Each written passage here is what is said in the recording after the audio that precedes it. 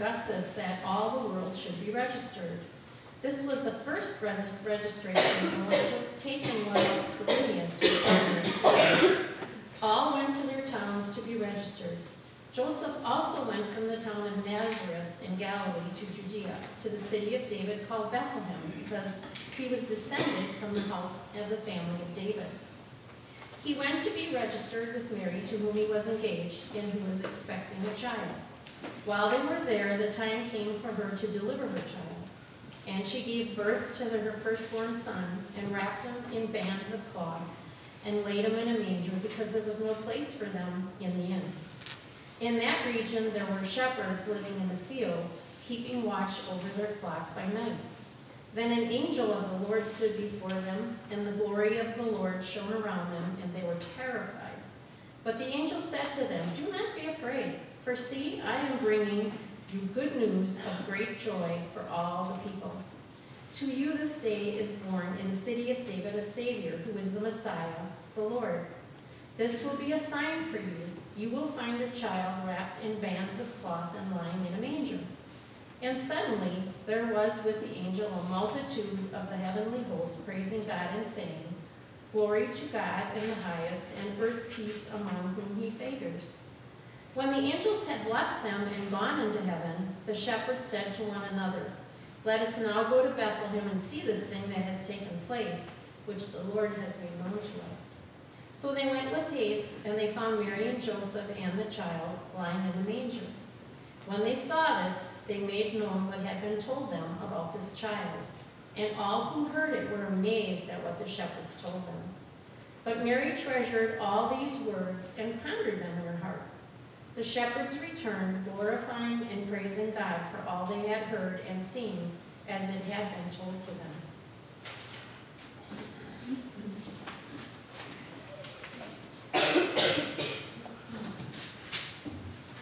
Thank you, Kathy, for sharing our scripture, as well as Allison for sharing the scripture that we use for the lighting of our candles.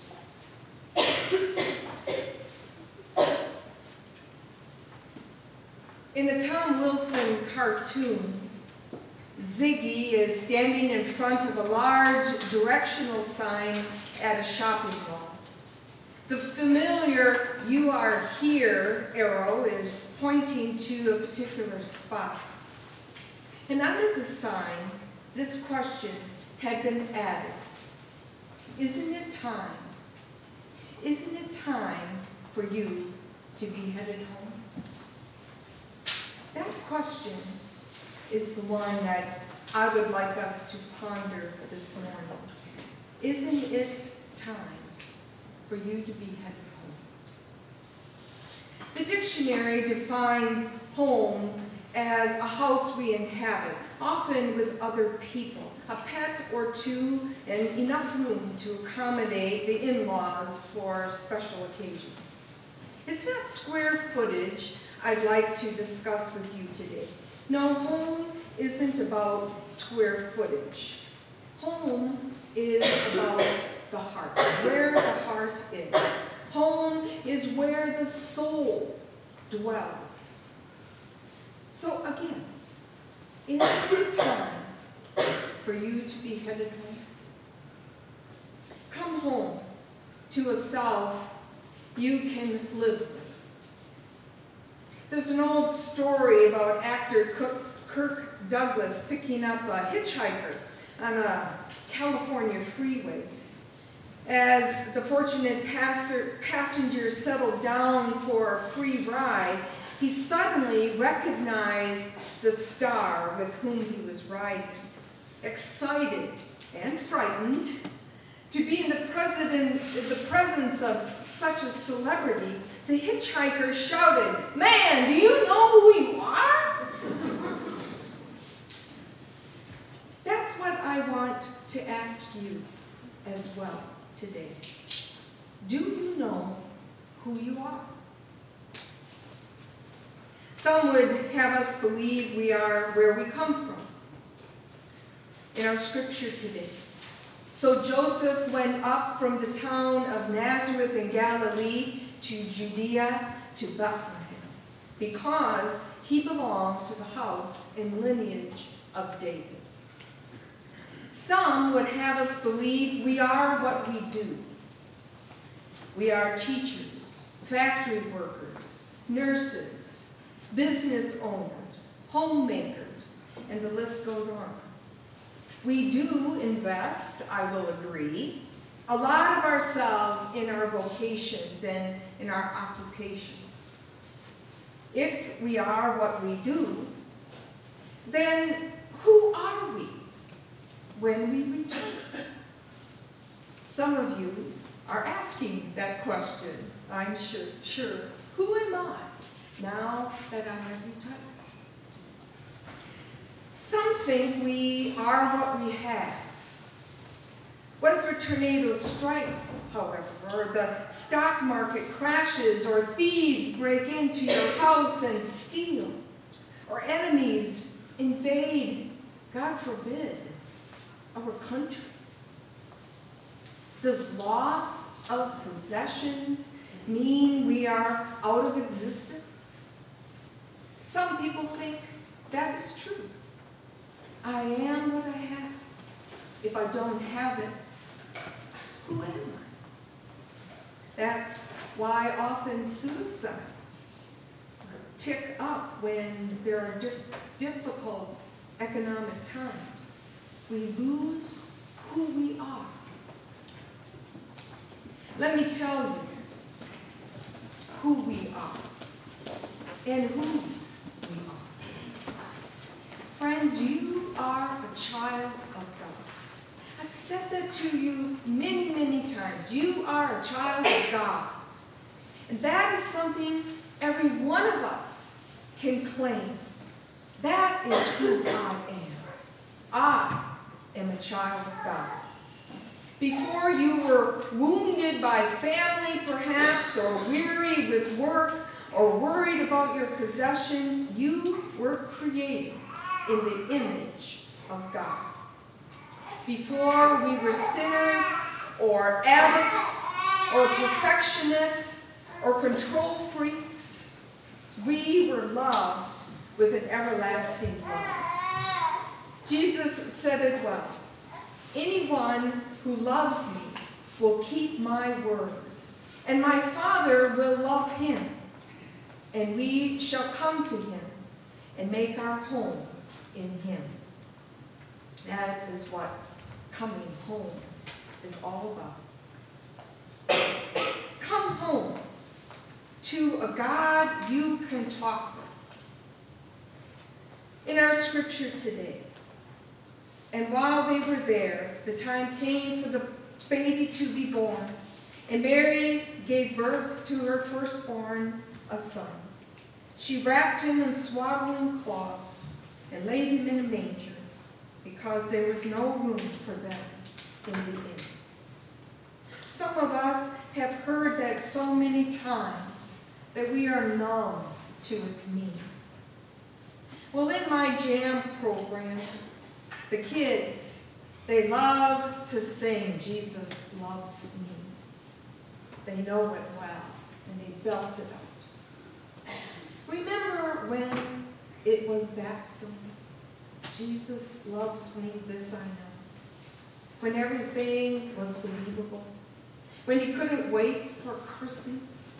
When life was full of mystery. Then we grew up. Parents fell from perfection, life became difficult, questions flooded our minds and complicated things. How exactly did the Holy Spirit impregnate Mary? Exactly how many angels were there in the heavenly hosts? How come only the shepherds could hear them? If God came to save the world, how come it isn't saved yet? Why is there illness and poverty and suffering and death? We need to ask these questions to be sure, but we also need to move beyond them to faith, to faith. We need, friends, to be born again every day, Not necessarily in some dramatic fashion, but nonetheless renewed in mind and spirit. We need new eyes for seeing, new ears for hearing. We need faith beyond the questions and hope beyond the doubts. O holy child of Bethlehem, be born in us today. For ultimately, faith is not about creeds, it's about relationships.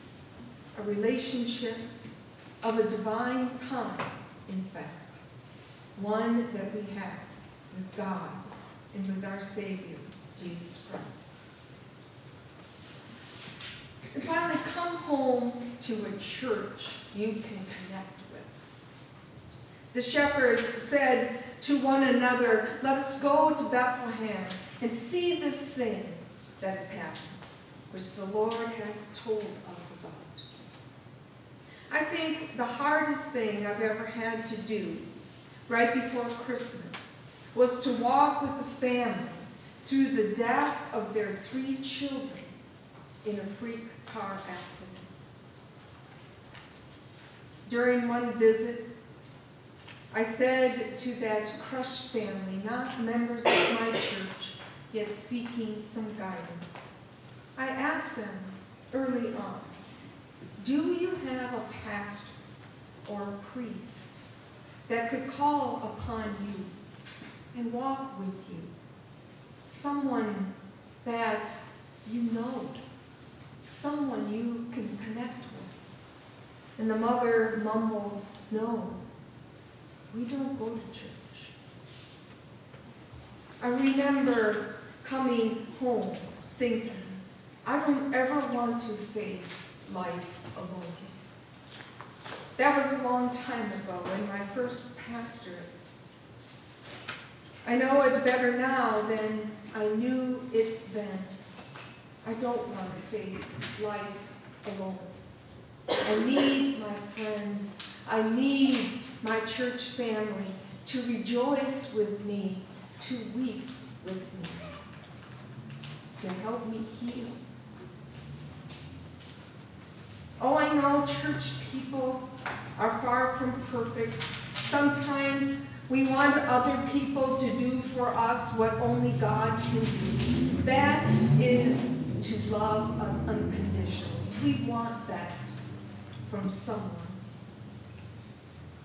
Being in the community is not always easy, but community is essential for survival. So we gather at the table for Holy Communion today. We gather not because we are good, but because we are needy. It's a strange meal, to be sure. It's about a broken body, a spilled blood. It gets kind of messy at the table. But life is messy, isn't it? Whosoever will come, the rich, the poor, the young, the old, the glad, the sad, the sinner, the saint, all come home to this table, this banquet table. Theologian Marcus Borg says, to separate from community is like turning your back on a banquet table right in front of you, filled with food, and deciding instead to go and forage for food yourself. Isn't it time for you to head home. Um,